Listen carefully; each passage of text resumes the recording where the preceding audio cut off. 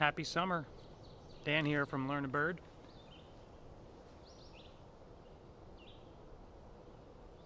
That's our character today.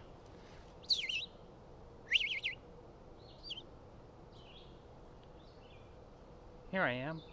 Look at me. In the tree. Look at the top. Here I am. Hear my song. Here I am. Look at me. This, my friends, is the red-eyed vireo, V-I-R-E-O. If you're not familiar with vireos, they're kind of small, little grayish green birds that live way up high in the treetops. This one here is a beautiful eye stripe and has a red eye, thus the name red-eyed vireo. You probably won't see this bird very often, but you'll hear it. It is the most persistent singer I could think of in the summertime. Uh, there's evidence of over 10,000 songs in one day from the red-eyed vireo and its song is kind of telling you about itself. Here I am, look at me, in the tree, at the top.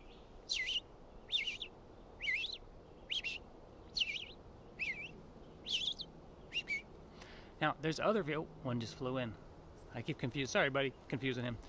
Um, there are other vireos that sing somewhat similar songs and some different songs, but this is the most consistent one. One of its nickname, nicknames is the Preacher Bird, because it can just preach and preach and preach all day long. A group of red-eyed vireos, and I don't know why, is called a hangover. So you can research that one and let me know.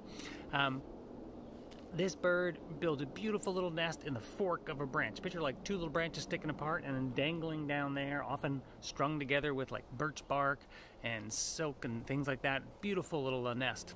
Um, and that's where they raise their families, which they're doing right now. Here in summer, uh, in southern Maine and many parts of the country. Very common bird around the country. So I hope you enjoyed learning about the red-eyed vireo. Make sure you subscribe. Check out what's going on at leadwithnature.com and otherwise, learn a bird. Peace.